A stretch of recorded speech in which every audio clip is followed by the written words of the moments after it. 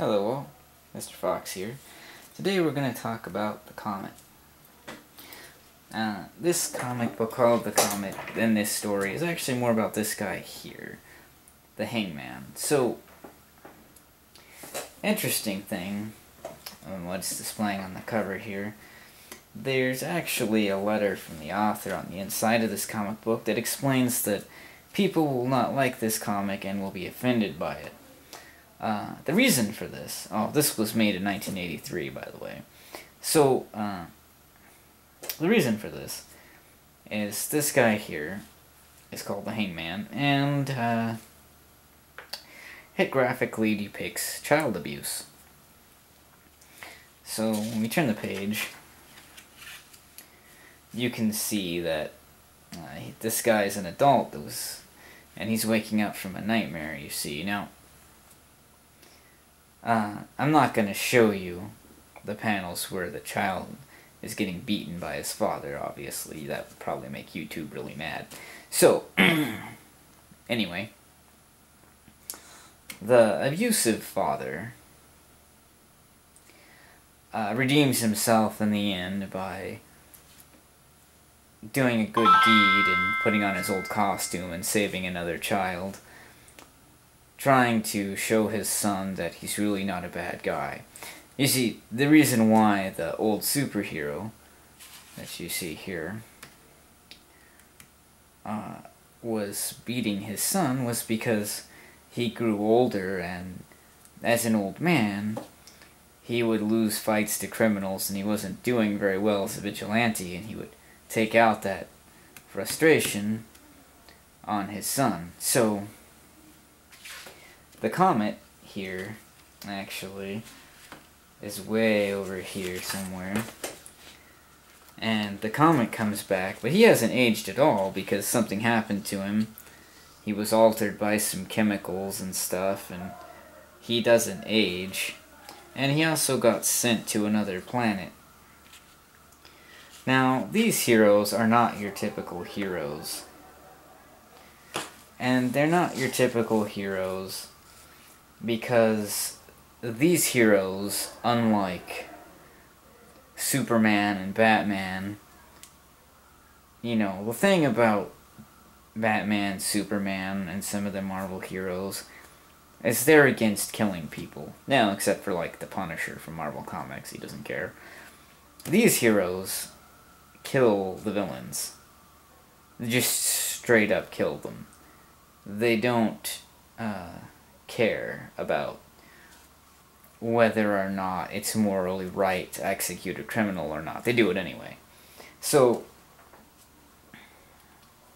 the comet here talks about how he would just burn criminals to death with his comet powers and not care. And up here, in this panel here, he's remembering doing that and he's saying, you know, when I started my fiery crime busting career, I was a butcher. Every bit as ruthless as the savages I hunted. And the reason why he says that is because, like I said earlier, he would just burn them to death. That's a really interesting take for a superhero. Because, you know, the Comet does not give a fuck he's just gonna kill you. Now, when he went to another planet, and he learned to change his ways, Oh, well, he comes back, and the woman he was in love with is an old woman now, but she still has feelings for him. Anyway, moving on.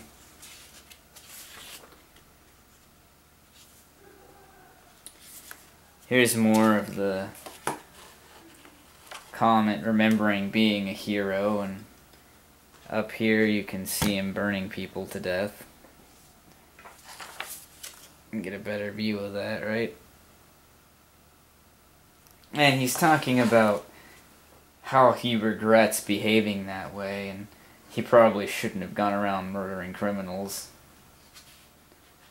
And he talks about how he used this power to save a planet from ruthless invaders. And of course, he marries an alien princess because he doesn't feel he'll ever be able to make it back home to Earth again, which he eventually does. But uh, anyway. And Mr. Justice, old advertisement for another comic they were going to put out. And there's The Fly and some other comics they were going to put out. Anyway. so, this was a very controversial comic from 1983. And it was by the Red Circle Comics group. Uh, sort of an interesting comic to talk about. Especially when I was younger because uh, this touches on difficult and controversial issue of child abuse, but also because with the comic, you know, I've never encountered a superhero that killed people. That was interesting. Well, except for the Punisher. But, you know, uh, as a younger man, when I was a kid, growing up through the 80s, I would usually read the X Men and uh, probably some Batman or Superman comics. The most mainstream heroes. Occasionally Daredevil. Rarely would I read things like this. This uh, is another one of the comics that I got in the bargain bin. One thing when I was a kid, I loved bargain bin comics because I would get a special deal, like I could talk to the guy at the store and he'd give me 15 comics for a dollar. I was like, yeah, a dollar for 15 comics. And sometimes the comics in the bargain bin were actually really good. Uh, this isn't necessarily a bad comic, just a very controversial one for the time it was written. You also have to keep in mind this was the 80s, things were different then. But uh, anyway, it's fairly interesting. I hope you liked seeing this comic, and I was glad I got to share it with you. Hopefully you enjoyed seeing it. I love talking about old strange comics that uh, exist in my collection. Given the controversial nature of this particular comic, I would say it was strange enough to put on the list in this video logging YouTube channel I've started.